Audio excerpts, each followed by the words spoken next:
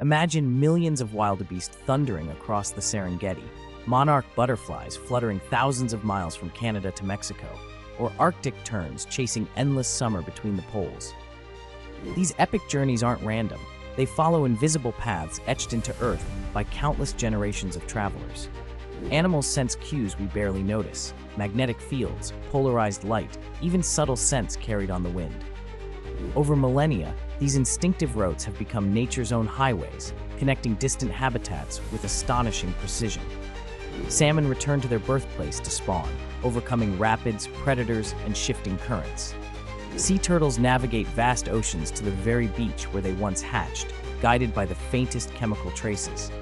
Even caribou trace age-old trails across frozen tundra, led by ancestral memory and environmental signals.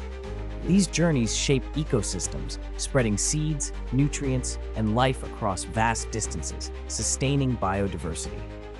By following these incredible travelers, scientists uncover secrets of our planet's rhythms, revealing interconnected patterns that sustain life on Earth. Their epic voyages silently map the pulse of the planet, weaving a living network that links continents and oceans in a delicate balance.